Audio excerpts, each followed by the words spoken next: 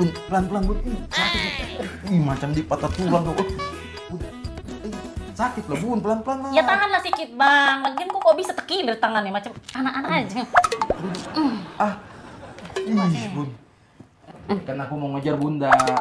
Aku takut tuh gara-gara bunda mau open BO. Kau pun. Yang kau pikirnya aku serendah itu bang. Tapi ucapanmu itu bun bikin awak takut. Takut kenapa? Kayak monster aku rupanya. Bukan itu bun. Awak tuh takut kehilangan bunda. Hmm, gombal kali mulut kau itu. Ku gimbal juga lah mulutmu. Iya, bun. Ini dari hati yang terdalam lah bun. I miss you. Apa itu? I miss you. Betul-betul kau ya bang. Gak bisa kau berpikir I miss you sama I love you itu bedanya apa? Ya kan sama-sama. Kalau aku jauh, baru kau bilang I miss you. Bukan I miss you kok lagi dekat gini I love you. Dari hati. Alah. Ya cuman ini kayak tangannya udah bagus lah, udah gak sakit lagi kan? Oh iya nih. Berkat cinta rupanya nih cinta. Bener-bener cinta memang ya. Aduh, udah gak usah lo kepikiran itu lagi pusing sakit kepala aku bang. Ini kayak mana lah ini? Kita ini harus mempersiapkan omak datang loh bang. Persiap persiapannya harus matang bang. Kau macam mau bertanding, mau perang sama Oma gitu pakai persiapan segala. Hura! Hura! Gak bercanda kok loh bang. Harusnya kau lah yang panik kau menantunya. Aku anaknya loh. Apa yang bikin kau panik sih bun? Hah? Udahlah biarin berjalan apa adanya. So much go on. Mengalir seperti air. So my go on, so my go on. Somas. Somas siapa lagi tuh Somas? Mengalir seperti air. Iyalah. Ucapanmu itu sok betul kali. Mending kalau airnya bersih. Ini airnya air kotor dari air got. Bau pula. Mengganggu orang lain. Apa nih kau ini? Itu kata-kata puisi loh bun. Kata-kata dari pujangga. Nggak usah kau artikan secara langsung. Hidup bukan cuma dengan kata-kata indah oleh sang punjangga, Bang. Hidup itu butuh duit, butuh uang. Emangnya bisa? Hidup, emangnya bisa? Kenyang perutnya pakai puisi. Ya kalau berpuisinya dibayar, ya bisa lah bun. Terus, terus kau ngeles ya, Bang. Ada aja jawaban kau ya. Ku tanya lah sekarang. Kalau kau berpuisi, siapa lah yang bayar? Hah? Ada yang mau bayar kau berpuisi? Itu masalahnya. Nggak ada bun. Ya iya emang. Kasihan senimannya juga. Gak usah lah kau pikirin sini mas. Sekarang kau pikirin kita kayak mana nih, ya? Biar dapat uang bang. Setidaknya buat pegangan lah bang. Di dompetku cuma 35 ribunya. Apa? Kau ke mana? Sana sini merepet, ujung-ujungnya duit juga. Ya memang itu.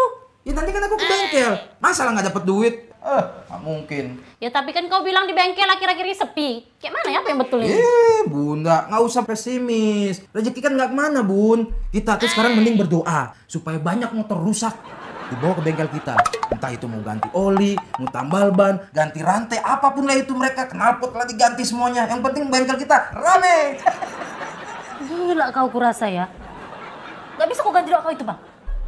Yang ini hanya kita makan duit dari doa yang gak betul bang menyengsarakan orang lain. Kok tega kau? Kan, bunda yang bilang kita itu butuh duit dan ini sesuai profesi lah. Coba kalau nggak ada motor yang rusak, nggak ada yang ke bengkel kita. Bengkel kita sepi coba. Mau dapat duit dari mana lah, Bun? Tapi kita dapat uang dari doa yang kita bikin untuk penderitaan orang lain loh, Bang. Oh, yang penting kan bukan penderitaan rakyat, Bun. Ih lah, lagi pula motor mereka rusak bukan kita yang rusakin. Malah itu kita memperbaiki motor mereka yang rusak jadi bagus lagi.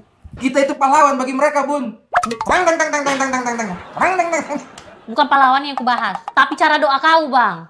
Adalah sakit kepala aku ngomong sama kau. Sakit kepala aku. Omongan kau tuh kayak balon warna-warni bang. Angin semua isinya. Nah itu makanya kita buka tambal ban. Nah kan, udah terus, terus, terus.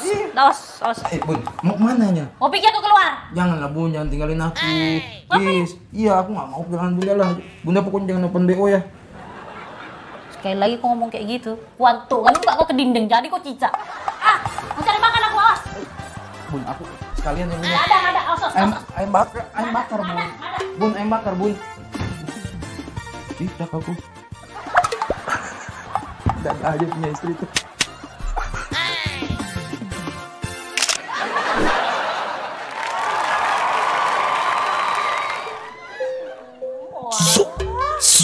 Wah, eh, lihat, lihat itu.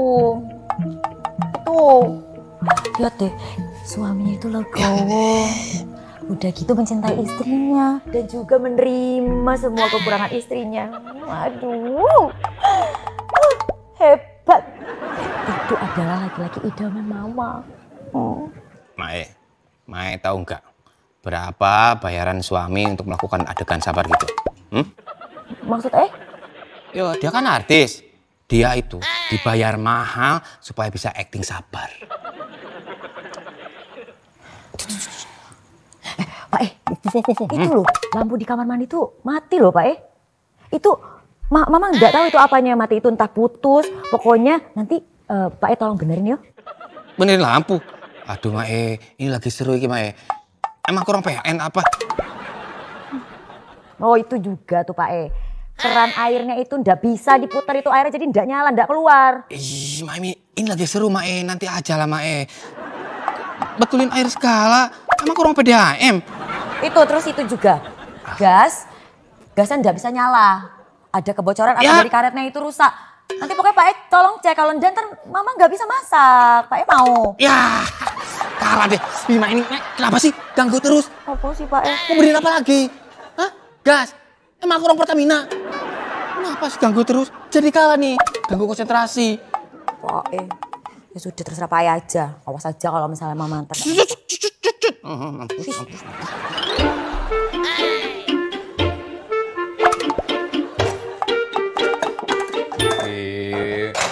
Mae ternyata hebat juga yo.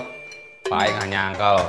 Ternyata Mae ini bisa betulin lampu, betulin keran air, betulin gas. Hebat loh Mae ini. Pak E, ini semua bukan Mae yang benerin.